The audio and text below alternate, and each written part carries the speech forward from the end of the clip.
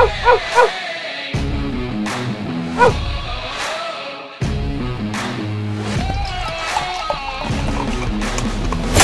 to another edition of the Dog or Pass podcast. This for UFC 300. The whole gang is here at Circa Stadium. Cody Saftic, obviously, to my left. Your right, Pat Mayo. Jeff Feinberg's hanging out there. Maybe he'll yell something at some point. Uh, it's been a great little week down here yesterday. Busy travel day, but we couldn't leave you hanging. Obviously, the biggest card of the year, and uh, tons of time. What is there, like 10, 10 former champions on this card or something? Yeah, well, the UFC obviously took it seriously. UFC 300 it has to be a card of a big magnitude. They did an awesome job. They put together fights that the worst fight on the card headlines some shitty fight night somewhere. So, yeah, I think there's a huge excitement. And of course, we're at Stadium Swim. We're in Las Vegas. And you can start to feel that vibe, Paul. We went out on Fremont Street last night. It was whack. But beyond that, get up this morning because of the time difference. I got up pretty early, walked through the lobby, and this lady's just bawling her eyes out. I don't know. Did she just lose her life savings or she mourning the death of OJ Simpson? Nobody knows. but the whole strip's just whack, man. I tell you what, there's a vibe. It's supposed to be a really hot day today. So uh, we're going to crump this show out and then uh, maybe hit a couple shoeies and cool down. And the haters will be happy to know the one thing I forgot. It's not that it got it didn't get pulled over at customs or anything like that. I forgot the ro- rocket ship moon boot.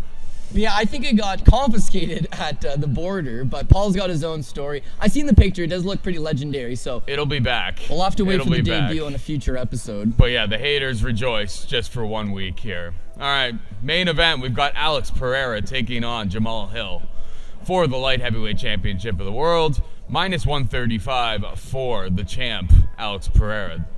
The former champ, who never actually lost his belt, Jamahal Hill, can be had for plus 115. Where are you at with this one, Code? Yeah, so again, this is a fight that you could flip flop. There's no right or right, right or wrong answer. It really comes down to what version of each man shows up. So you got straight power versus straight volume. And Jamahal Hill, I mean, he's a legitimate champion, a guy that, as Paul said, never lost his belt. But you look at these numbers, Paul.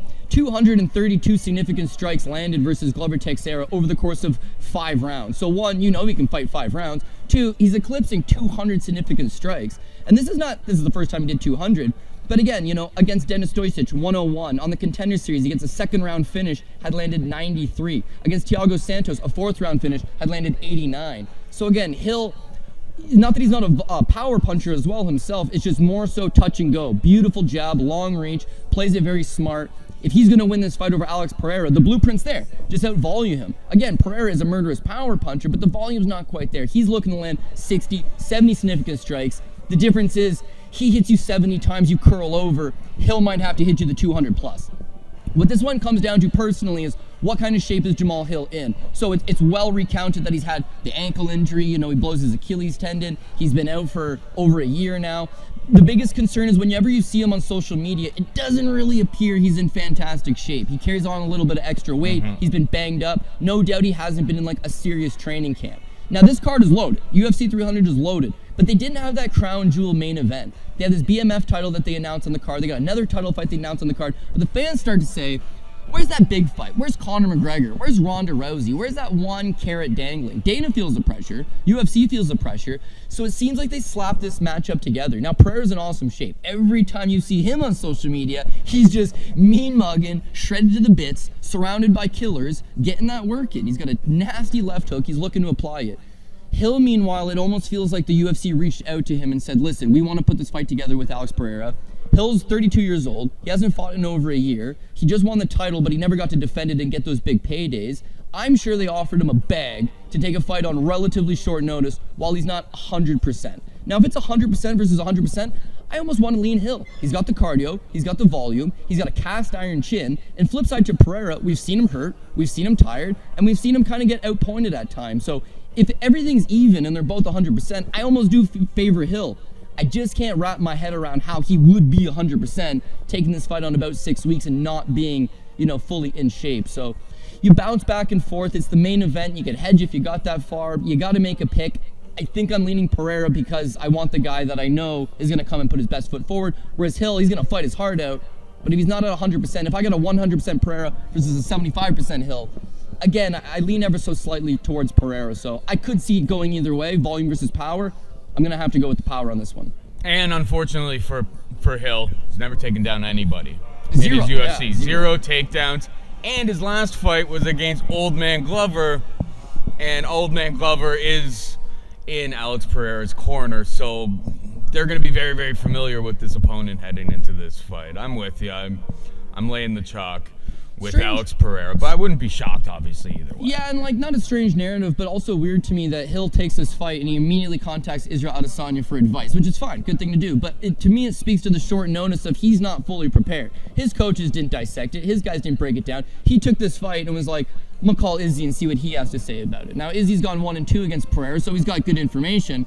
But on the other side of it, it's yeah, this guy's an elite striker that can take your head off at any point. So the problem with throwing so much volume is you're gonna leave yourself open for counters. But again, he's never been hurt, he's never been knocked out, he's never been knocked down. It seems like Pereira's gonna have to land that money shot. If not, he's gonna have five shots coming his way. So super interesting fight. And again, that's the crown jewel of UFC 300 because it's super competitive and uh, there's a ton of intrigue on it.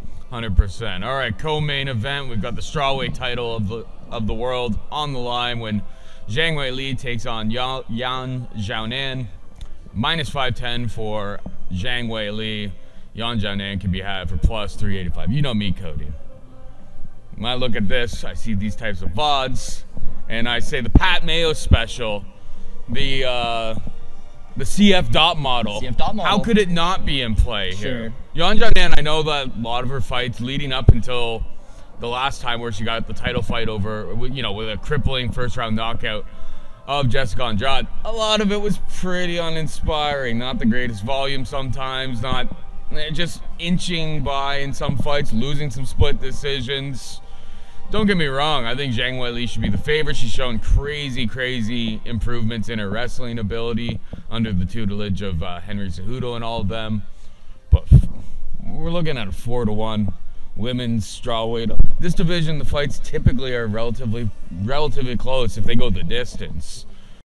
I don't know. I think it's uh, from a betting perspective, it's a dogger pass situation. Yeah, I feel like it's probably relatively competitive and probably does go some rounds. It's the all battle of China, which one will prevail. But yeah, for me, I got to go with Zhang Weili. And and it, to me, it's the wrestling. So no doubt with Yan Xiaonan, you look at the path to victory and how people beat her, it's the ground game. Her fight with Carla Esparza, she gets taken down three times and gets mauled by Esparza. Now, Esparza, not really a potent finisher, one of the better wrestlers of the division, but she gave up those takedowns so effortlessly, and she has no get up game, no game up her back.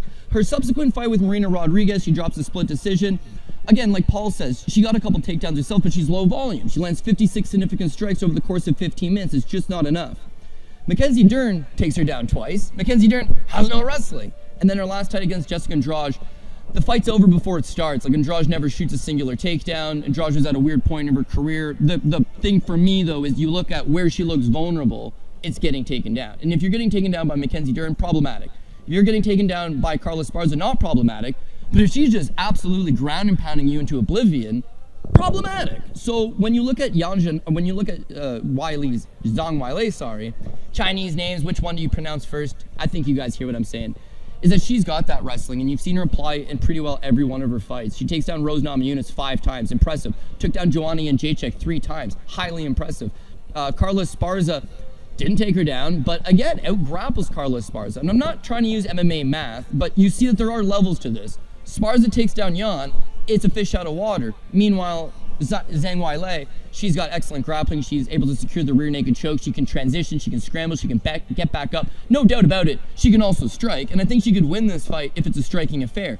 But why not just take that path of least resistance, and that's the takedowns. And again, her last fight against Amanda Lemos, six takedowns, 163 significant strikes landed, and a knockdown. What's the path for Jan? Is Jan just going to cold cock her like she did in Andrade? Well, she better hope so. Because if she doesn't, she's going to be getting grinded on. She's going to be taken down. She's going to be getting, you know, give up a back, give up the rear naked choke. If not, you're going to be getting TKO'd from uh, just flattening out on the bottom. So, yeah, is it a heavy duty price for women's MMA? No doubt about that. I'm not going to disagree there. But there's a rightful favorite and there's a very clear path to victory. So I, I can't play contrarian here and take the dog. I think Zhang Weili gets the job done and probably looks good doing it. No, what's even dumber and more of like contrarian in my mindset?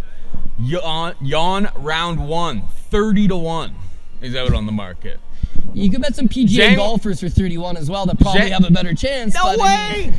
Zhang Weili got knocked out by Rose Namajunas, head kick, round one knockout. Fair. Je- Jessica Andrade, last time out, gets cold cocked, knocked out, first round, 30 to 1. I'm just saying, I'm not saying, I'm just saying that I'll probably degen a little bit Little into bit. that. I can't help myself. I can't help myself sometimes, Cody. That's why we bring you in to have the rational takes, whereas I just want to take dog shots most of the time. All right, we got a great fight here. It's the the BMF belt is on the line. Justin Gaethje taking on Max Blessed Holloway.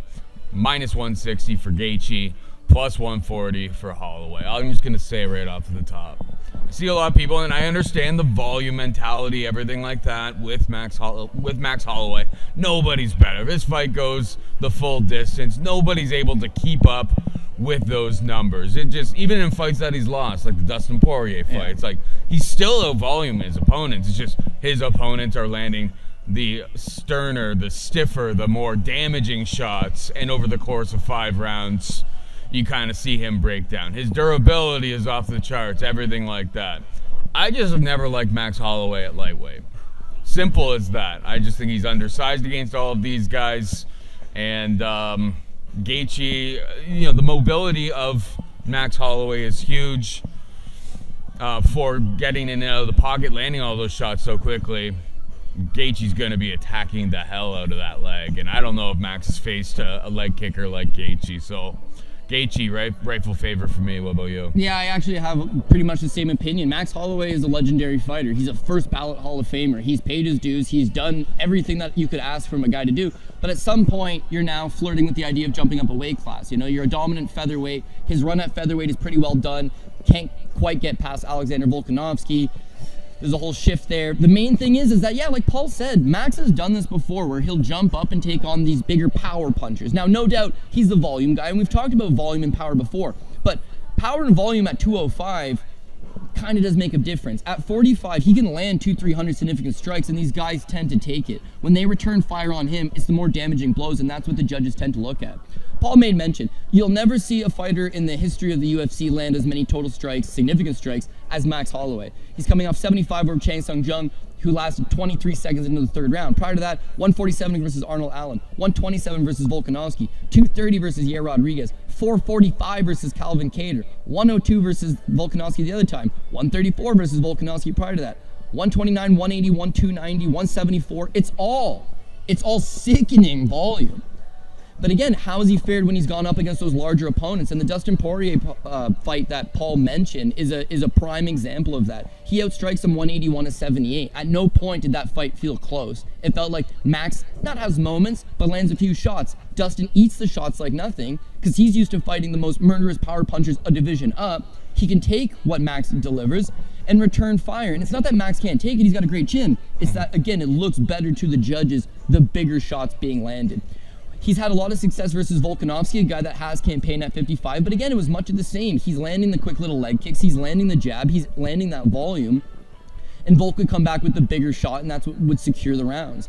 Gaethje, Gaethje's hard to say he's in the prime of his career because he's starting to get a little bit older and he's just had so much wear and tear. But he's fighting some of the best fights of his career right currently. He, no one's ever defended the BMF belt. Gaethje has an opportunity to go out and do so. And coming off a win over Dustin Poirier and Rafael Fiziev, both fights aged extremely well. One has to imagine he's in pretty good form right now. Going back to the Fiziev fight, it's a it's a slow start for Justin Gaethje. You know, Fiziev is just faster, he's more athletic, he's more dynamic, he's landing these great shots. The longer this thing goes, Gaethje is a BMF. That's why they got the strap around him. He's not going away. He's not going quietly. You quite literally need to knock him out. And the guys that have done that, Michael Chandler, Dustin Poirier, murderous power punchers. Max is not that guy, so he's gonna have to outpoint him for 25 minutes, and then couple that in with the Gaethje leg kicks, those big hooks coming forward, the momentum swings. One has to say Gaethje gets the job done. Now it's an interesting fight because we probably think it's going to go 25 minutes, and it's going to be 25 minutes of just straight car crash action. So the judges got to get it right. But the money line's not so crazy right now, in Justin Gaethje, that you wouldn't be willing to take that shot. So I'm going to agree with you. I got Gaethje just being the bigger, stronger, more powerful man. All the respect to Max Holloway. He's a BMF for stepping up, but he's unfortunately going to drop, not drop the title. He's not the champ, but I, I think it's going to be an and still for Justin Gaethje. All right, we got Arman Tsarukyan taking on Charles Do Bronx Oliveira. Minus 200 for uh, for Arman Tsarukyan. Charles, the people have forgotten Charles can be at for plus 170.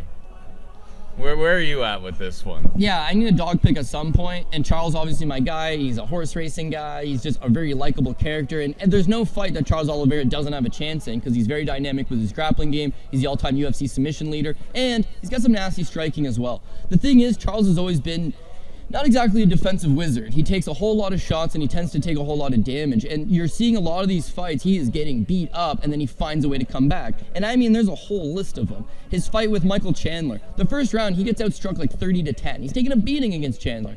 He finishes him in the second. Dustin Poirier knocks him down. Charles is on skates. He's done. He comes back and he beats him. Justin Gaethje knocks him down, puts him on skates. He comes back and he beats him. You can only get away with that for so long. You can't just be getting Homer Simpson every time and find a way to win. It's just not going to happen. And so Islam Makhachev, fair, drops him just like everybody else, but he's got the ground game to survive once he has Charles on the ground. And then Charles beats Beneil Dariush. That's fair. What I'm getting at is guys that are strong wrestlers that can avoid that takedown and cause Charles to strike. Yeah, he's got some hot power in his hands, but defensively, his head's straight up. He doesn't move. He doesn't really cut any type of dynamic footwork. He's there on a straight line to get hit. And with Arman Tsarukyan, I mean, he's only been taken down by two guys in the UFC Islam Makhachev and uh, obviously the former KSW champion. It's just. It's, I'm not apples to oranges. I just don't really see Charles Oliveira using a wrestling heavy, a wrestling heavy game plan to constantly ground him. So this will probably be a striking battle. He'll have moments. He'll land some good shots. But at some point, Tsarukyan's just going to hit him with that right hand and topple him over. Both guys coming off wins over Beneil Dariush, both guys by knockout. Both guys have power. Tsarukyan's shown that he's got a decent chin on him. He's young. And the pictures that have been surfacing online, I don't know who his strength and conditioning coach is, but boy, oh boy, that guy uh, is taking his job real seriously. So yeah, yeah. I mean, he may have worked with Barry Bonds, who quite literally has veins shooting through his forearm the size of garden hoses. So I don't know who's the drug testing regulator at this point, but Arman Tsarukyan is coming in world class shape. And again, you got Charles is just a fighter. He likes to fight. But in this specific matchup, if he can't take down Tsarukyan, which I don't think he will, he's going to be forced to stand with him. He's a little bit longer. He might be a little bit sharper. But at some point, Tsarukyan returns fire, hits him, and topples him over. So, again, it's not a fight that you love the line because it's just straight violence. It's straight violence between two premier guys. You're betting against a former world champion who's finished guys like Michael Chandler. He's finished guys like Dustin Poirier. He's finished guys like Justin Gaethje. He's the man. And you're betting against him. Feels a little bit weird but it's all about time and place. And where both guys are at this point in their career, I do favor Arman Tsarukyan to get the job done. Yeah, I get that. Um, it is a pretty tricky matchup in terms of just getting the fight to the mat. I, I expect Charles to probably come out hot, have some real success early, but outside of getting knocked out super, super early in his career against something called an Alexander Bellick at Cup of the World Borders uh, in 2015. What was he, 19 years old? Exactly, hasn't been knocked out. Obviously, he took that. Uh, we're talking about Arman. Arman took that super short notice fight against Islam Makhachev, which we knew at the time was like, wow, like the cojones on this kid to come in and take this fight on such short notice are just like off the charts. And then now, like, how much is that age? Like that performance being relatively competitive against the guy who's the current champion of the division, a guy who absolutely just mollywopped Charles Oliveira. Um, that fight going to decision looks pretty good um, in hindsight. Gamrot fight was a bit of a stinker, but Gamrot can do that to guys. Just kind of makes fights. It's a five boring. round fight too, and if you look at it from a three round scenario, I think Tsarukyan wins. The one that worries me is when he fought Joaquim Silva, who's not on his level. Joaquim Silva rocks him. He never hits the ground. He gets rocked. He kind of has stanky legs and then proceeds to go out there and knock out Joaquim Silva. So it might be similar in the Charles fight. You might get rocked. You might do the stanky leg, but you got to clear the cobwebs and and go back to what you do. Tsarukyan also on the table is that maybe he scores takedowns himself. Do you want to hang out in Charles Oliveira's guard? Probably not. But guys off their back are not nearly as effective as guys on top. And with Charles, if you're ground and pounding him and he's throwing up arm bars and triangles, yes, something's going to sneak through and possibly rock this guy. So when you've lived a career of just performance bonuses and fighting, you know, high octane performances, foot on the gas the entire time, at some point, age is going to catch up to you, damage is going to catch up to you. And again, I just honestly feel like Tsarukyan's the fresher guy, in shape, headed upwards, and Oliveira is just this this guy with a legendary name and a reputation that Tsarukyan's trying to steal. You know, this will be a um, in the future when we look back on it. This will be the guy everyone forgets that was on UFC 300 Who was Bo Nickal' opponent? Cody Brundage. They got a Cody on the card. We got Bo Nickal as a minus 2,300 favorite. Uh, Brundage can be had for plus 1,100. I mean, it's pretty. Writing's on the wall. We know what they're doing here. They like this type of platform, this type of show. It's just like, here's our future star. Here's the guy that we think is going to be the champion of the division, Bo Nickal. It's a Bo Nickal fight. Every Bo Nickal fight right now, we've been saying it every single time. It's just like they're basically unbettable. We think he's going to absolutely smash his opponent. They're they're building him up because he hasn't, he doesn't just doesn't have nearly enough MMA experience. But I mean, I wasn't betting on Bumdidge against just about anybody. Right. Um, I won't be stepping in front of Bo Nickal. What about you? Yeah, I mean the money line. What can you do with it? But I think everybody's going to take this one inside the distance. Bo Nickal, excellent wrestler, we know that. But yeah, he seems to be putting pressure on these guys that are a lot less than him and breaking them down he's not someone that's faced any type of adversity. So that does make you wonder how good is his chin? How good is his resolve? How good is his ability to overcome a potentially bad situation? He's just not been in any bad situations. Paul, when you look at his first three fights, two on the contender series against Donovan Beard and Zachary Borrego, and then this fight with Jamie Pickett, these guys landed a collective one significant strike. They had three guys combined for as many hits as Dexy's Midnight Runner. It's, it's just not a good spot to be in, right? So when I look at his level of competition, it's extremely low. It's just not all that good. He's trying to build himself up, and the UFC's done a really good job of taking him up the slow way, but it's not that Cody Brundage isn't the right opponent for him right now. It's just it is UFC 300, and you've got one guy that sticks out like a sore thumb on the card, which is Brundage. Now I'll give him one thing. When you look at Bo, Bo, is wrestling is phenomenal, but he hasn't exactly taken on anybody that would be considered a decent wrestler for the most part. Brundage would be considered a decent, not good, a decent wrestler. He's got college experience. He's training out of the Rockies. He's supposed to have some okay cardio. My problem is Paul references him as Cody Bumridge, and nobody disagrees with that statement because when the going gets hot, he tends to find a way out the back door. A lot of these fights are just so sloppy. He's getting gassed out. He pulled, he pulled guard on Rodolfo Vieira. No ring IQ. Why? It's a fight he's winning. He drops Rodolfo Vieira. He's not looking all that bad. Or and jump he, gilly, he jumps guillotine, and uh, it's essentially pulling guard because as soon as Rodolfo pops his head up, it's like game over, pal. That was the You best. spent eight weeks getting ready for don't go on your back. Don't end up with this guy on top of you, and then you pull him on top of you. It doesn't make any sense. You look at some of these other fights. Cedric Dumas, he landed three significant strikes over 15 minutes. What is going on here? And that's kind of the guys that Bo fights, is these guys that'll land three significant strikes over the course of 15 minutes. Super low volume. This fight with Rodolfo Vieira, Paul mentioned, Paul's guard, bad move. You know, um, Mikey O, uh, Alexa Chick knocks him out. Nick Maximov had just outgrinded him despite him being a wrestler. And these are all just problematic because you know he's not durable. You know, he doesn't have a great submission game. And despite him being the wrestler, giving up four takedowns to Nick Maximov, Bo's just going to run you all, all over. Um, going back to his Jack, Jacob Malkoun win, which for Bunridge is the biggest win of his career. in a fight he's absolutely getting dominated in, gives up his back. Yeah, yeah. we- Is it a, is it an elbow in the back of the head? Quite possibly, because he's ear muffing himself and only giving you the back of his head because he wants out. He wants the ref to stop the fight. The ref does stop the fight and unfortunately disqualifies Jacob Malkoun. So awful, awful, awfulness, but the facts remain. I mean, the guy doesn't have great takedown defense. He's not a great grappler. He doesn't have any type of dynamic striking. He's probably on paper the best opponent that Bo Nickal's had to face. It's just still not enough. So, Bo romps this guy. I'm thinking under one and a half. Bo, I want to say by TKO. Submission is obviously on the table though, so you're probably going Bo inside the distance. And again, hard to believe that this one would get into the second round, let alone deep into the second round. So probably that under one and a half. But on a minus 2,300 money line, sure you can parlay him up. It's just not going to do anything. 100%. All right, we got uh, Aleksandar Rakic taking on Yuri Prochazka on the main event of the prelims. Rakic, slight favorite, but like depending on you know the book that you go, that you look at, you may have a Prochazka favorite. It's pretty much a straight pick 'em, Cody.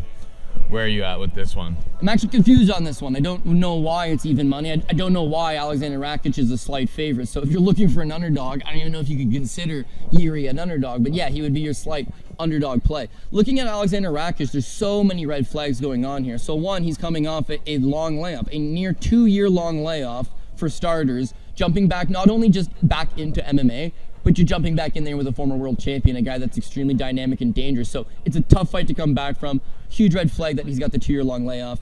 We'll talk about Yuri's layoff, but just for Rakic, it's an even longer one. Last time you seen him, he blows his leg out against um, against Jan Blachowicz. It wasn't exactly a spectacular performance prior to that. He probably is up two rounds and then he hurts himself. So it's also a red flag that hasn't fought in two years. He's coming off an injury in a fight, in a fight that he was otherwise kind of somewhat winning and then he hurts himself. So again, not a guy that you would probably want to back. But when was the last time you watched Aleksandar Rakic fought and thought this guy looks good? Because it's been a minute. It really has. Yeah, he hasn't fought in two years, but the Blockwoods fight didn't look good. He was getting outstruck 31 to 27 when the finish came. His fight with Thiago Santos, it went 15 full minutes. He landed 36 significant strikes. He got outstruck by Thiago 49 to 36, and he somehow won the decision. He looked awful. No volume uh, no no killer instinct. He's fighting a guy that can't even hack it in the PFL ranks right now. Bad look against a guy that is, is past his prime.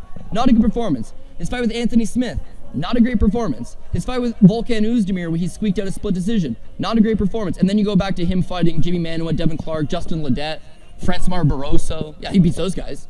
The last time he looked good would have been Jimmy Manuwa. That was five years ago. Since then, he's been going through the motions. And it's not like he's going through the motions against the best guys. You know, Volkan Oezdemir is a gatekeeper to the division. Anthony Smith's a gatekeeper to the division. Thiago Santos is cut from the division. Jan is a former world champion. That one would have aged well. But he looked like crap. He had landed 27 significant strikes going into the third round or mm-hmm. already in the third round. And then he hurts his leg. And then he takes two years off. He's 32 years old. He has really no real big notable win on his record. Like, in what world is this guy a pre-fight favorite. This doesn't make sense. Yuri, meanwhile, let's talk about his red flags. Yeah, he's got a na- nasty uh, shoulder surgery he's coming off of.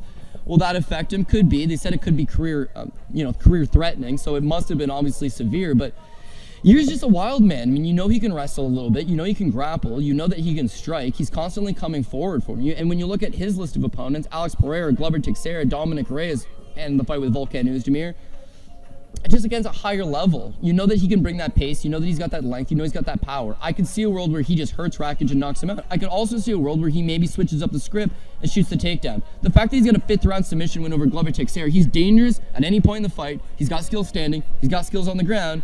Yeah, it's his comeback fight, but you know the way this guy fights. He's just going to tune out the noise, tune out the pain, and give you a berserker type performance. So yeah, it's a 50-50 fight because both guys got red flags and both guys fight, you know, this and that, and they're not the most trustworthy. But Yuri's got power, he's got offense, he's coming forward to deliver, and with Rakic, he's super low volume, almost looks like he's avoiding the fight most of the time. Been off two years, bummed his leg his last time out. There's really no redeeming factor for why I personally would want to bet on Rakic, so got to go with Yuri. But you're expecting a greasy fight between two guys banging it out in front of a hot sold-out crowd in Las Vegas.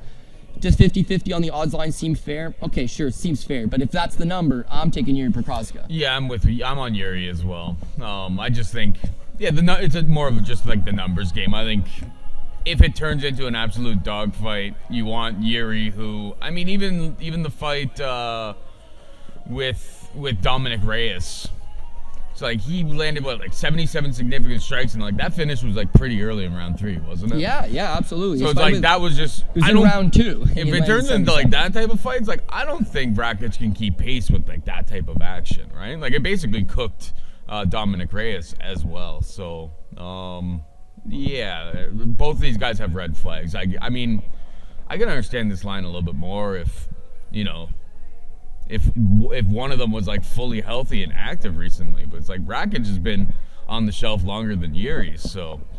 Yeah, um, I think he's got the bigger question. Marks. And keep in mind, though, if it comes down to it, and both guys are hurt, and both guys aren't what they used to be, Yuri is a samurai. So they go with seppuku, which is death before dishonor, and uh, yeah, that's the mentality he brings to the table, and that's the mentality I'm looking to back with my money. Nice. All right, we got uh, Aljamain Sterling making his featherweight debut against Calvin Kattar minus 170 for the former bantamweight champion um, in Sterling. Kattar can be had for plus 145. I'm curious. It's always weird, like obviously moving divisions if your game plan is to wrestle. Not that Aljamain Sterling has to wrestle here. He has enough, he, he has enough volume has that he could make this a real competitive fight. I think just striking it out with Kattar. But like my big question mark here is like who has tried to wrestle not many guys have no, really tried to success. wrestle. Um, Emmett did Emmett even try? Emmett shot two, and Dan Ige shot like nine. He stuffed all those, so yeah. I mean, that doesn't look bad. It doesn't look bad at all. Well, I think it's a kind of a, a it comes down to the wrestling for Aljo for me, and if he's not able to get those, like I don't want to lay a minus 170 on him to be perfectly honest. If I think it's going to be like a competitive stand-up uh, fight between two guys that both have great volume and Kattar probably, like not even probably, definitely has more power uh, in those shots. So we haven't been picking too many dogs here. Calvin Kattar will be one for me. What about you? Yeah, again, I'm in the same boat. Need to make a dog pick at some point, and then it's just interesting that you have the weight change and you have Calvin Kattar. Maybe keep keep it as a striking battle. It definitely does lead some credence to yeah, Calvin Kattar could go out there and spring the dog upset. for me, Aljamain Sterling seems to be in his own head.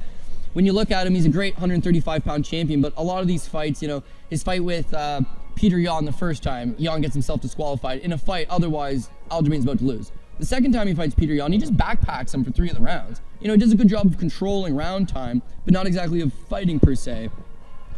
Uh, TJ Dillashaw's got a bummed out shoulder. Henry Cejudo's a former 125 pounder. And then you run to Sean O'Malley. This one's interesting to me. You had come off a performance where you took down Henry Cejudo four times. The path to victory to beating Sean O'Malley is very clear. It's very obvious. Yep. You're going to go in there and take him down. Why would you want to strike with him? I, I don't know. Sterling goes in there with a clear blueprint. I just took down a, a U.S. Olympic gold medalist multiple times. I'm just going to go take down Sean O'Malley. Instead, he decides not to. Not really sure what the game plan was there, but he just kind of bounces off that range. With Petr Yan, you saw him throw volume, but he didn't against Sean O'Malley. Against other guys, you've seen him shoot takedowns, but he didn't against Sean O'Malley. And then in the second round, he just kind of runs headfirst into a counter punch and gets knocked out. Then he's super vocal about how he didn't want to, want to take that fight. I, I shouldn't have taken it. Then he goes to grappling. He's going to take some grappling matches. He loses. He's losing these grappling matches. Kevin Danzer, he doesn't want to engage him. It's a grappling match. You get on top of him. No, no, no, no, no. Don't want to. then they book him in a grappling match versus Chase Hooper, which he wins by split decision. So his grappling at 135 is elite. His grappling at 145, at 155, it, it eventually starts to diminish. His wrestling abilities is fantastic at 135, but coming off a fight where he was reluctant to shoot on Sean O'Malley is worrisome. Got knocked out bad. He gets knocked out by Sean O'Malley, is worrisome. He's 34 years old. He's very clearly mad at the UFC and that they're not giving him these spots. And I want a rematch versus Sean O'Malley. And they're like, no. You got a bantamweight champion, defended the title multiple times, steps up when you need him, and they're refusing to give him a rematch in the title fight. So Aljamain's a little bit all over the place. He's searching for a new home. And to move up to 145, I mean, that 10 pounds is going to be critical because how does Aljamain win his fights? Okay, well, he can mix in his wrestling and he can use that superior volume, but the volume doesn't really carry any power with him. He can hit you 100 significant times, but it's mostly just jabs and leg kicks, jabs and leg kicks. No real defining strike coming out of that. Mixes in the takedowns great, but as Paul mentioned, Calvin Kattar just presents a whole lot of different problems. His takedown defense in the UFC is 91%. Guys that have tried to take him down, Dan Ige is a decent wrestler. Arnold Allen is a good wrestler. Josh Emmett is a collegiate wrestler at a team alpha male. Guys have tried, they just not really had any success doing so. And when you don't take him down, he's capable of landing 130 against Josh Emmett, 144 against Giga Chikadze, 133 against Max Holloway, 105 against Dan Ige. He's all volume all day. He does have a little more power than Aljamain Sterling. I wouldn't consider him a murderous power puncher. He's got more power than Aljamain Sterling. He's got a fairly brick wall takedown defense. And again, you've got a bigger, stronger man. People will say, oh, he's 36 years old. That's fair, but he's taking on a 34 a 34 year old Aljamain Sterling coming up a weight class. So for Kattar, this is his last chance at relevance. Obviously, he wants to wash the taste of that last defeat out of his mouth and get back on the winning column. And I think sprawl and brawl type tactic would be the way to go. Last but not least, one little point I want to throw in there is that Aljamain Sterling went on record after the Sean O'Malley fight being like, I let the crowd get to me because I shouldn't have fought an exciting fight. People wanted an exciting fight. I should have just grinded him up against the cage and held him there and had the worst fight in the world, the most boring fight in the world. That's what I should have done. That's his mentality. He's not looking to fight. He's looking to hold on to you and secure rounds. So in this fight with Kattar, if he's just looking to backpedal and land jabs and leg kicks and shoot some rinky-dink takedowns, the crowd's hot. Vegas is looking for action. They're looking for damage, and he's not landing the damage. So it's a live underdog spot for Calvin Kattar, who figures to land tons of punches, the bigger punches, and if he can stuff the takedowns in the mix, he's live. He's live at 145 all day. So I'm going to back up with you on that one and uh, take Calvin Kattar as dog number. Well, we got Jiri Prochazka so to speak, ah, dog yeah, number one. But you want a real dog, we'll go with Calvin Kattar for dog number two. So Kay- uh, Kayla Harrison's taking on Holly Holm. This is at bantamweight. Yes. I think that's a massive factor to this fight. No Kayla, Kayla's a minus 440 favorite. Uh, Holly Holm can be had for plus 340. Um, I correct me if I'm wrong, but like Kayla Harrison said that she's like ne- like she has been on record before saying that she was never going to cut down to 135, I believe. Yeah, well, she's been on record saying that essentially she couldn't make 135 yeah. Like she would have to like cut off of a li- like I don't know. If I, I'm not gonna quote her, but I feel like the words like cut off a limb. I mean, I guess we'll find out at weigh-ins on Friday. Yeah, well, Uh, that would be pro- problematic considering she's a wrestler, Pat. She if she had to cut off that arm. Um, We've seen this in the past with like high-profile women's bouts. Is that there's not enough challengers in all the divisions, so at some point you're expected to go up or down. And when you have already de- defeated all the girls above, then you're forced to go down. With Cris Cyborg, everyone wanted to see Cyborg versus Ronda Rousey at 135. Ronda Rousey, not the greatest of all time, despite what her deluded brain is telling her, her deluded concussed brain is telling her, not the greatest of all time, but but she refused, outright refused. I would never go up to 145 to fight Cyborg. She's got to come down. Cyborg tried. Cyborg did the whole I'll cut my leg off if I have to, but she physically couldn't make the weight. Harrison's at a weird spot. She fights in PFL. She's won a couple million dollars in the tournaments, but she's kind of also run into Larissa Pacheco now at 145 that maybe seems to have her number. So to find new life and to sign with the UFC, there's no 145 division. You're not fighting Big Norm. You're not fighting is Germaine retired. Durandamy. Nunes is retired. There's only one game in town, and that's 135 pounds. So it's not like she wants to do it, and we're not even sure that she can do it. It's that she has to. She has to try. She'll have a really good strength and conditioning coach. She'll have a real good nutritionist. She'll have a real good team around her of medical experts that'll help her get to the weight as safely as humanly possible. But there's a huge difference between dehydrating yourself 20, 30 pounds and then stepping into a steel cage quite literally the very next night. So I think she's very live to get the win here. I think three round fight definitely helpful in that Yes, respect. We've yep. seen her definitely fall off of like the, the cardio fall off a cliff against Larissa Pacheco, who you were mentioning earlier. Holly can be taken down. Holly can be controlled, but minus 440 is a big. It's a big ask, I think, in, at this price with like all of the question marks of how she's going to perform on fight day. Um, I think Kayla Harrison will get takedowns early. Is that gas tank going to hold up in like later in round two and round three? I'm not entirely sure. I think it's a clear Dog or Pass. Probably a pass for me. But uh, do you have an official pick? Yeah, well, I mean, when you talked earlier about the CF dot model, it's just taking this big plus money on the women's underdog. This one feels way more CF dot model than Zhang Weili, who I figure is going to go get the win. But yeah, it's like you, Kayla Harrison could look good in the first round, and if she tires due to a bad weight cut, then Holly Holm figures to take over. The reason why I just find myself pulling the coward card on this one and going with Kayla Harrison is Holly Holm's last performance against Mayra Bueno Silva, where she does look old, she does look every bit of 42. That mobility, that ability to, to kind of dart out in and out of the pocket, to move laterally, to counterpunch, it seems to be a little bit diminished. Mm-hmm. And you see with Mayra Bueno Silva, once she closes the distance and pins Holly Holm up against the cage, she's a lot stronger in the clinch. She's able to lock up this little ninja choke. I would think that Kayla Harrison, if she can make 135, she's going to be strong, she's going to be physical, she's going to be coming forward. She'll have that same ability to press Holly Holm against the cage. She'll have that same chance to get the takedowns. Will she get the submission? I don't think so. But all the same, the ability to control the fight, dictate where you want to take place, likely on the ground, and just continuously grind on Holly. There's no doubt at 42 years old, Holly Holm, not what she used to be. You give me a prime Holly Holm versus this version of Kayla Harrison all day, I'm interested.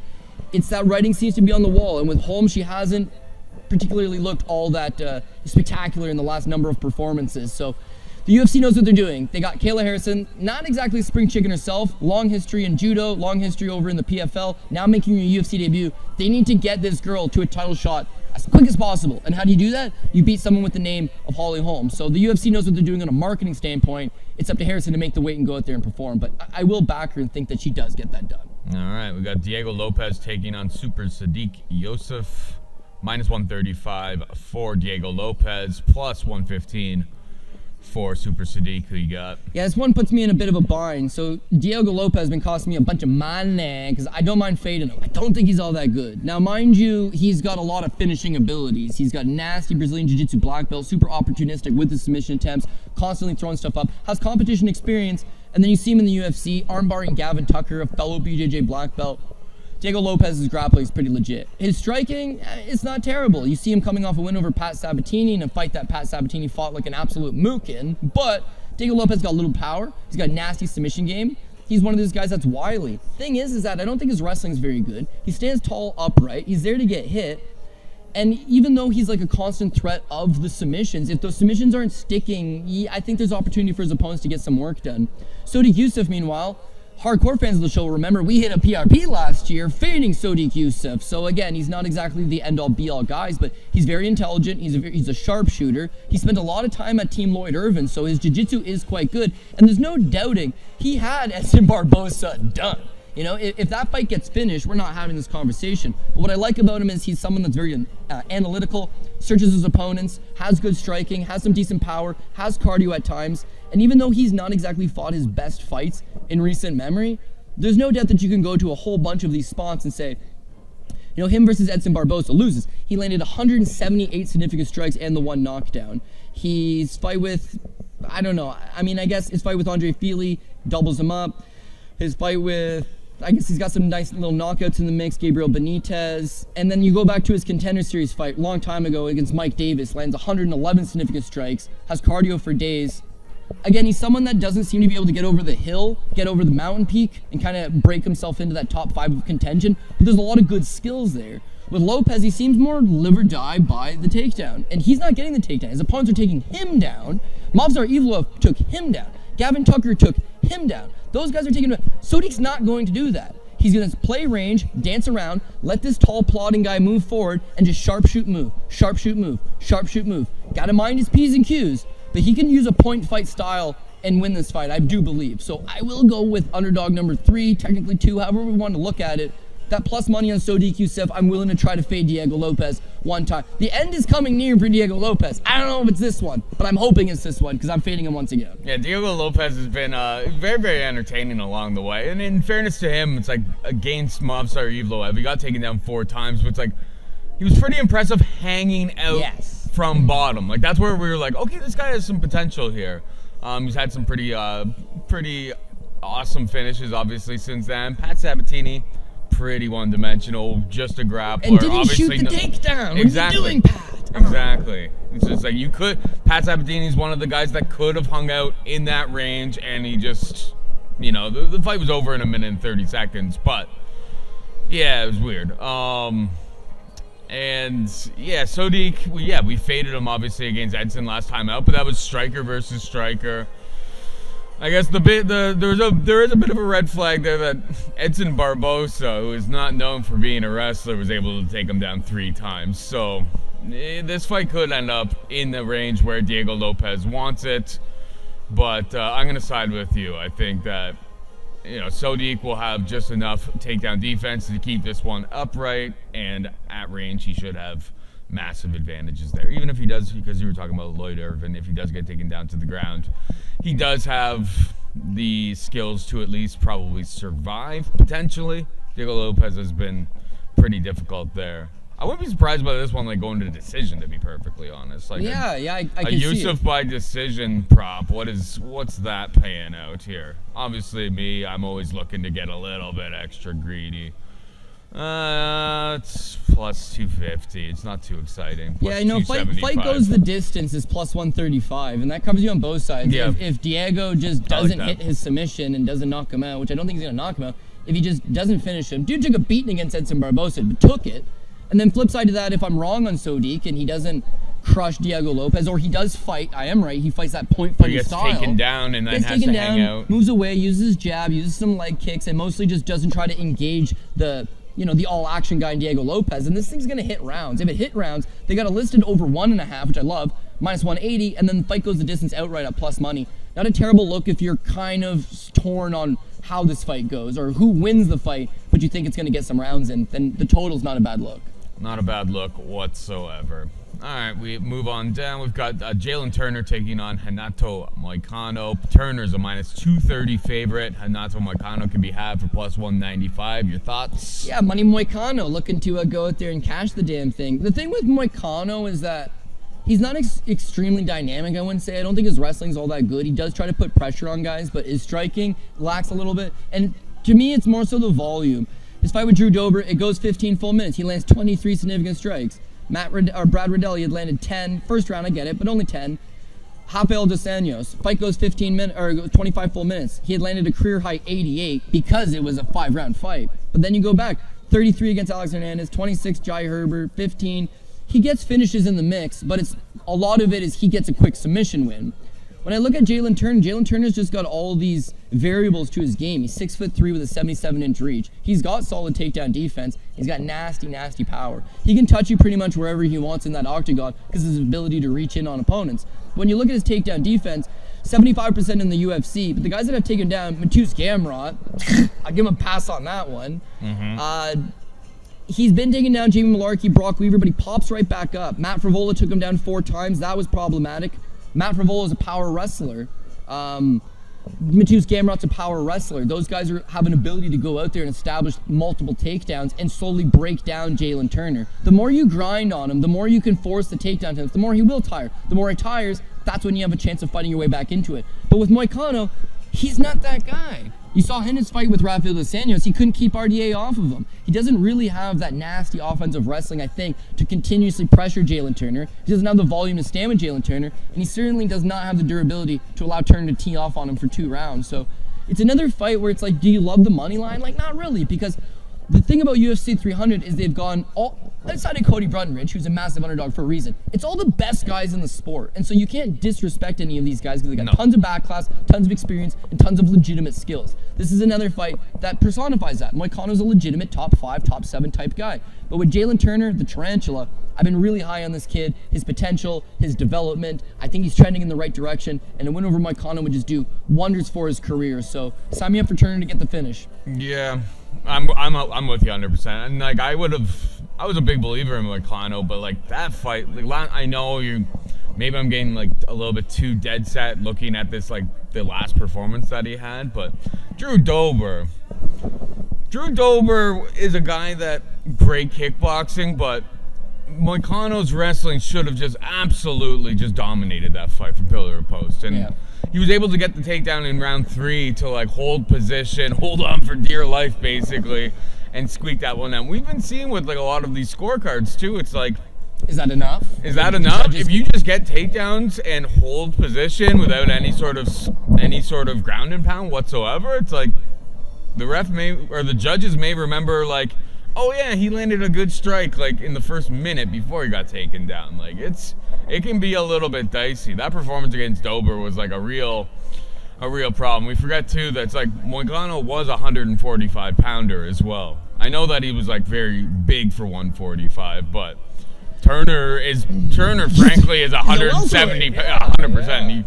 I, if he put on a little bit of meat, maybe he's even he's a he's a middleweight potentially. So a lot of things that I don't like about Moicano here. I understand why Jalin Turner is a, significant favorite. I'll imagine he'll be pretty high up uh, in your PR, PRP charts this week. Maybe not top line, but uh, he's going to be up there in the mix. Got to take some risks and some chances. And yeah, again, Turner's a guy that we like. And Moicano's, he, he's developed a fan friendly character where he talks some game online, does a good post fight interview. But I think we're getting away from, like Paul mentioned, he left the 145 pound division for a reason. And, and, again, I'm not saying he has durability issues, but when Turner puts hands on him, I think you're going to see him busted up, bleeding, second guessing himself, and then things are going to get uh, greasy for him. I wouldn't be I wouldn't be stunned by a, like a Turner first round knockout, to be perfectly honest. Um, very very dynamic. I, I, we are leaving out the like Turner if the fight does get extended, does get a little bit ugly. But Moicano against Dober in that fight, his cardio wasn't looking all that great as it as it went into the third round either. So. Yeah, and again, when you look, it's like, oh man, he's got gas problems. It's like, okay, the two fights that he lost where he did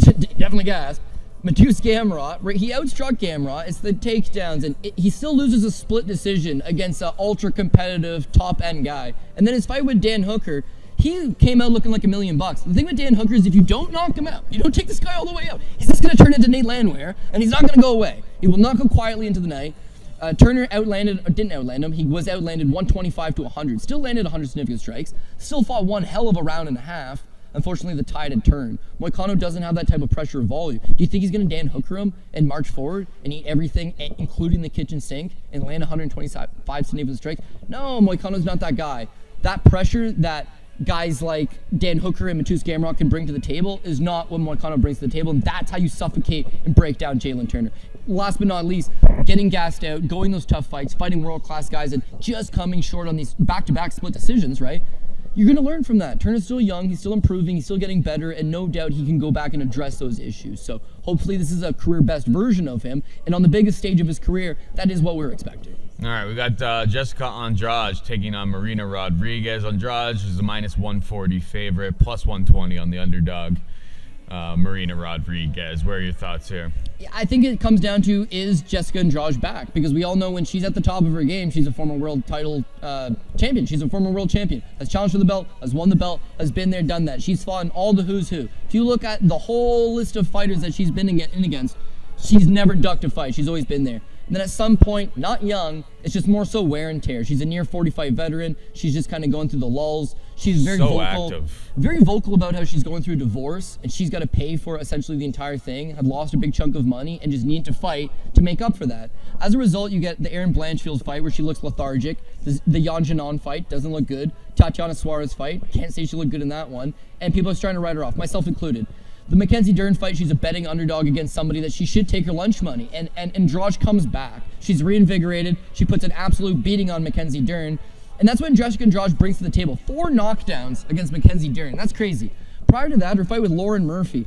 231 significant strikes landed over a tough, grinding type fighter. Her fight with Amanda Lemos, you know, arm triangle, standing arm triangle choke in the first round. She's a Brazilian Jiu-Jitsu black belt. She's one of the stronger girls of the division. She can wrestle. She can absolute hit like a Sherman tank. The problem is, is just like where her mentality is at and how much motivation does she have. So again, she's not an old fighter. She's just got a whole lot of mileage under her. Marina Rodriguez, meanwhile, She's 36. 36 years old. Surprised that she's older than Andrade, right? Significantly older than Yeah. Right? And and doesn't have half the amount of professional fights. So on one hand, she's a lot fresher. On the other hand, at 125 pounds at this weight class, speed is everything. Your ability to you know keep pace with your your contemporaries is super important. And I just don't know that she quite got it. People will say she looked spectacular against Michelle Waterson in her last fight, and she did. But Michelle Waterson, very much a now near 40 year old fighter, uh, hanging out on the challenge. Shout out to Pat Mayo, likes the karate hottie from her time on MTV's show. But yeah, she's a mother. She's got other gigs outside of it. She's got a training program. She's got you know personals that she's been teaching. She's been doing some karate stuff it's it's a good win, but it's not the end all be all wins. I go back to to uh, Virna Jandiroba, takes her down three times and dominates her. Amanda Lemos took her down just the one time, tons of success with it. Yan Xiaonan took her down twice. Mackenzie Dern took her down once. Michelle Waterson the first time took her down once. Amanda Ribas took her down once. Carla Esparza five times. Cynthia Calvillo three times. Overall, she'd be rocking a 66% takedown defense, which ain't bad. But it's the chain wrestling. She might stuff the first two, the third one takes her down if Josh wants to just run forward and box her up, female John Lineker style, which we've seen her do, work the body, there's a chance that she runs headfirst into that mm-hmm. Marina Rodriguez right hand. It's on the table. If she's a counter puncher, she got a nasty right hand. Andrade could run face first into it. If Andrade fights her the way she fought, you know, let's say Rose Namajunas, where just pick her up and dump her on her head. If Andrade fights the way she fought you know, just a lot of these girls where she's been able to use that physicality to muscle her way to the ground, to fight within the pocket, to not give up a whole lot of space and range, and to constantly put that pressure on. The 231 significant strikes she landed against Laura Murphy, use that type of approach and march Marina back. Don't give her space to operate with. If Andrade is back and she's reinvigorated, this is her fight to win, but do you think all the women's MMA favorites are going to win on this card? Because I've already got Kayla No, Harrison. I've been I've been picking got- against most of them. I've yeah, been- so so at some point I think I gotta buck up and take something. And Marina seems like the best women's fighter on the card in terms of springing the upset by just catching Andrade with that counter right hand. So I'm gonna go with Marina Rodriguez. Don't like it, probably the PRP pick, but that will be the selection. Yeah, it's a, it's a tricky one. Like the problem is that Andrade just doesn't really go out there and wrestle against anybody. Like, in fairness, she's been fighting the top of the top of the class. Like Mackenzie Dern, it's like, well, you'd be stupid to even try Why to wrestle with to? her. Sure. Tatiana Suarez is just like, you ain't wrestling. Yeah. You're not wrestling with top. Yeah. Uh, Blanchfield's got el- elite wrestling. Same thing, you know. It's been so weird with Jessica Andrade because, like, yeah, she does look like an absolute murderer sometimes. And then there was that definitely in this stretch here, like that Blanchfield fight's like good first round, and then everything just fell off of a cliff. And you kind of see like Blanchfield what she's done after. After that, it's just like the strike. Like looking back on the striking that like Blanchfield put up in that fight, you're kind of like, what the hell's going on with with Andrade? Blanchfield was landing a ton in that fight. which is- Exactly. and then and then when you think, oh well, Josh looked back to her last time. Well, Mackenzie Dern can't strike, so is her striking back? I don't know. But on paper, Marina Rodriguez probably does have at least a avenue and a advantage. And so if you're looking for a dog that's going to cash out plus money, they need an obvious path to victory. And the counter punching, the Four inch reach right advantage. hand, that all does play in a factor. and Andrade doesn't wrestle enough. I wanted to disagree with you, but I'm gonna side with you because all I do is pick women's underdogs. One of them's gonna hit. Uh, If you can get one of the big ones, then you're set. But uh, if you lose your first two and you got this one, at least it would minimize the damage. Yan Xiaonan, round one, 30 to one, just pays for pays for everything. Just covers the entire the entire bill of UFC 300. Um, it probably has no chance. Uh, moving on down, we've got Bobby Green taking on Jim Miller. Minus 205 for Bobby Green. Jim Miller can be had for plus 175. Jim Miller was on UFC 100. Jim Miller was on UFC 200. And Jim Miller is on UFC 300. Lyme disease. He, if it was up to him, he'd be game. Yeah, Lyme disease couldn't stop this guy. Yeah. that probably will. Yeah, and he would be a prime candidate. Con- uh, yeah, Conor versus Jim Miller, UFC 400. I'm in. Um, I'm in. I would be down. I would be down. But yeah, I like Bobby Green.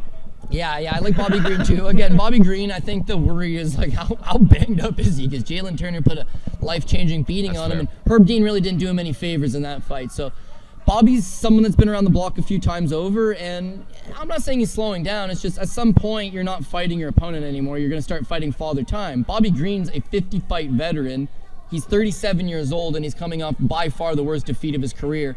So are you going to get a 100% version of Bobby Green? Not likely. Jim Miller, meanwhile, he won at UFC 100 and he won at UFC 200, and he's looking to solidify himself as a bona fide badass and get the win over UFC 300. No doubt he's resurrected his career. No doubt that he's definitely, you know, brought himself competitive. He's got a, a solid little boxing, decent little right hand with some pop on it. If he can drop you and get you to the ground, you in trouble. If he can take you down and get you to the ground, you in trouble. But he's not relying on his wrestling anymore. Jim Miller from UFC 100 was a grinder. He wrestled guys. UFC 200, you know, he still incorporated it. UFC 300, he's a little bit slower. He's a little bit more flat-footed.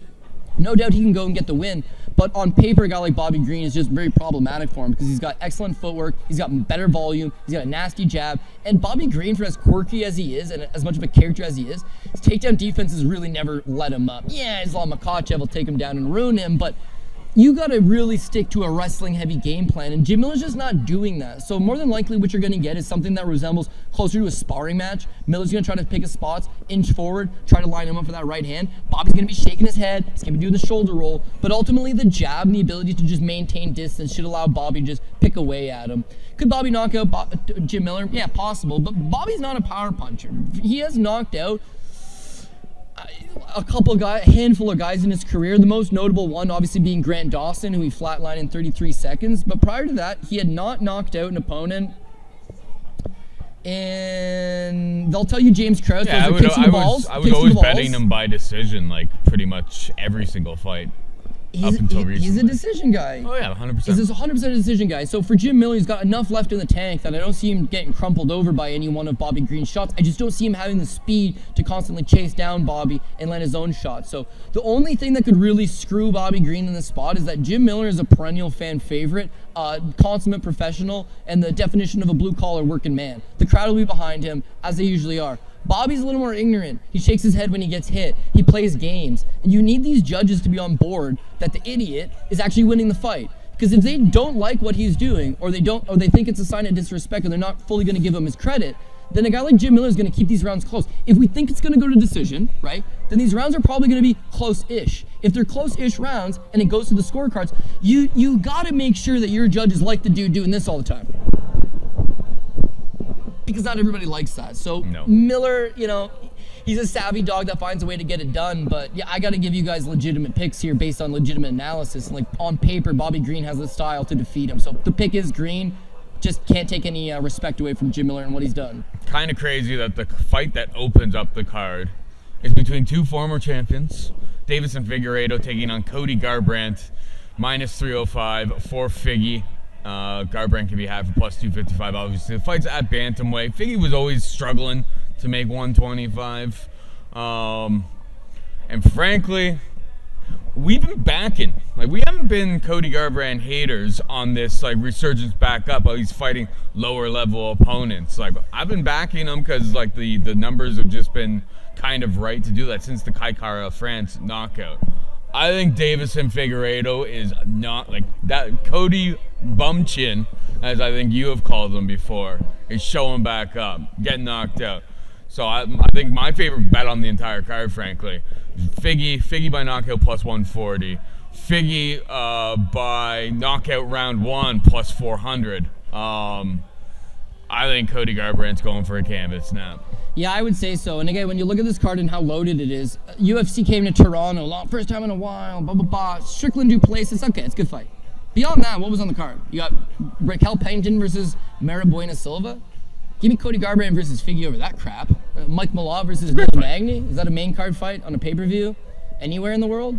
Probably not. This card, again, It's Davidson so good top to bottom. Bobby Garb or um, Deiveson Figueiredo versus Cody Garbrandt headlines of Fight Night anywhere. It co-main events most pay-per-views. Jim Miller versus Bobby Green that headlines of Fight Night pretty much anywhere.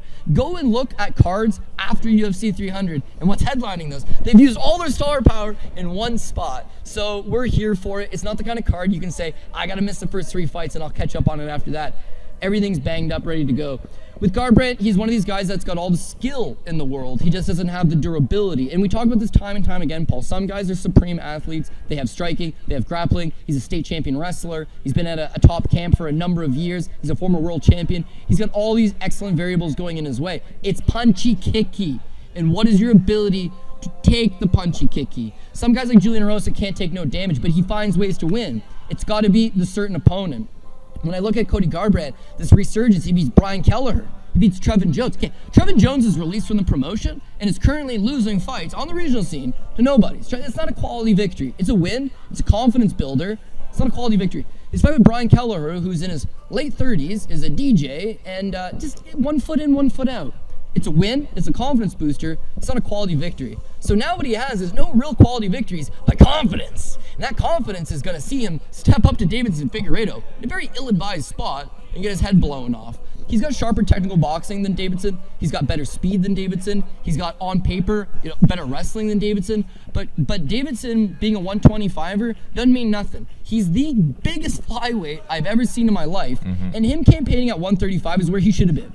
Without having to kill himself on these weight cuts, he's going to carry exactly the same amount of power he had over. He has very solid takedown defense, very solid get up game, and he's one of these guys that you start feeling good. Oh, I landed a combination. Oh, I landed a jab. You step into that firefight for one second too long, and he's going to knock you out. And with Cody, he fights emotionally. If you hit him, he's got to get it right back. You know, Pedro Munhoz, he hits him, he's got to get it right back. He tends to run into the fire, and I just don't think Deiveson's that guy. So you could make, you know, another fight you'd say, well, Deiveson's a 25er and he's coming up taking a, on a world champion. Like, uh, Garbrandt's a 25er too. Tried one time against Kai Kara-France, mm-hmm. got obliterated, and then decided he didn't want to do the weight cuts either. But when you see these guys side by side, truthfully, Cody Garbrandt is not any bigger than Deiveson Figueiredo, and in fact, it's quite the opposite. So.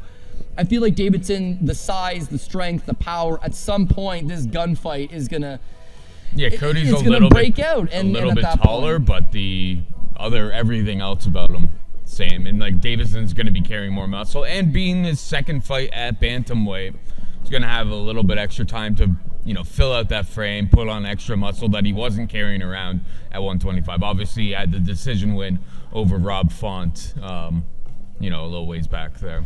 Yeah, and again, that one's it's his move up to 135. So he had fought Brandon Moreno, lost. It's his first fight at 135 pounds as Rob Font, and people would say, well, he didn't rock, knock out Rob Font. Font puts up huge volume Because he was able to everybody. wrestle him. He took him down four times. It was like Took Cody. Garbrandt. I'm not sure he's going to be able to wrestle him. So it's like they're going to hang out in the pocket and sling. And uh, yeah, I, I think that like I Yeah. we we backed Cody Garbrandt against Trevin Jones because we're like, wow, we know he's been getting knocked out, but like there's levels, and Trevin Jones is not at that level. And then we backed him against Kelleher because we're like Kelleher, not exactly a great wrestler. He's knocked out some guys, but it's like we're talking about levels again. Well, now he's stepping back into the fire against someone who has a championship level. Like I think, yeah, Deiveson Figueiredo knockout, Yeah, yeah, I agree. my favorite by far. I hate to say card. I hate to say Cody's are going to go 0 and 2 on UFC 300, but uh, hopefully one Cody could go 13 and 0 outside of UFC 300. That being me. Now PRP this week's going to be extremely difficult because again all the variables, but yeah, I, I-? I think you nailed it with Cody Garbrandt. It's that not that he doesn't have the skills to win. It's just you know, it's going to get into a firefight. This is going to be one of those back and forth type tilts where he might be landing shots, but at some point, you know, he's going to get hit back. And the one thing that I really do like about Deiveson is he's got as much power in his left hand as he does in his right hand. He's an orthodox fighter, but at sometimes he'll throw lead hands on both sides. And Cody Garbrandt's got a, a big problem with throwing naked leg kicks in the pocket. Stands in the pocket and he tries to counter with this leg kick. Someone's going to slam him straight in the face. And when Deiveson has you hurt and smells blood in the water, ask Joseph Benavidez how that one goes. He is relentless with pursuing the finish. So Garbrandt's not had any moments where he got seriously hurt, came back and won the fight. He needs to coast top to bottom because if he faces any type of adversity, he usually succumbs to it. So got Deiveson. And listen, would I like to take more underdogs on this card? Yeah, because it's a big card. Dogs gonna be coming through. I just think the favorites have been placed in the proper spots. UFC 300 odds have been out for a long time, so they've been steamed accordingly to where they're supposed to be. And at this point, finding that meat on the bone in terms of getting a big underdog, going to be a little more difficult. But yeah, we've outlined three, potentially four dogs that we do like on the show. Hopefully, those are the ones that come through, and then the guys that are supposed to do their job, well, we're going to need them to go ahead and do their job. 100%. All right, we're just about out of time here, but before we go, hit him with the PRP code. Hit it with the PRP. So this week we are going with Alex Pereira. Tough one, but we're gonna go with Alex Pereira, Zhang Weili. Um, sorry, my I don't know if it's internet just kind of. Anyway, it doesn't matter. We're gonna go with Pereira, Zhang Weili, Justin Gaethje, Arman Tsarukyan, Bo Nickal, Jiri is dog number one, Calvin Kattar's dog number two, Kayla Harrison, Sodiq Yusuff is dog number three, Jalin Turner, Marina Rodriguez is dog number four, Bobby Green and Deiveson Figueiredo. So I'm not taking the coward's way out. I got four underdogs, but yeah, I think people want a three plus 300 underdog, a plus, you know, Plus 3,000, round one, women's strawweight uh, knockout. Yeah. that's one thing. If These you don't, things. Well, if you don't have you a don't dog have to put the like, house on that, though, right? take a plus money prop that you like. So there's there's other sprink. ways to get plus money, and of course the degenerate in me will just tie some of these safer favorites together and then hopefully hit my my plus money. But uh, I'll admit, last week I saw absolutely zero world, zero possibility. There's no way, there's no way that Court McGee beats Alex Morono, and like it was a greasy ass fight, Paul. Why are these fights that shouldn't be competitive? Competitive because it's the fight game. It's why we're here. It's why we love it. Every dog's got a shot. Um, we're just in the business of trying to hit the right favorites and the right underdogs, and hopefully this week it comes together because this would be the this would be the big one. It's a big fight for everybody. If you're whether you're a fight fan, whether you're a fighter, whether you're a media personality, whether you're just you know involved in the game whatsoever. So uh, if anybody, if everybody could go out, have a good time, make some money this weekend, I think uh, that would be the best result, Paul. 100%. All right, that is it for us this week. Hope you enjoyed the show. For producer Pat Mayo, Jeff Feinberg, who's who's been hanging, and Cody Saftic, I'm Paul Shaughnessy saying goodbye and good luck.